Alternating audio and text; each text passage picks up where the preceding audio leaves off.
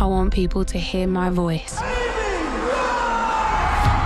From primary school to sell-out concerts. Stay lucky, Amy. The highest charting album from a British female artist in the US ever. I don't write songs to be famous. I write songs because I've got to make something good out of something bad. Back to Black. Solo en cines.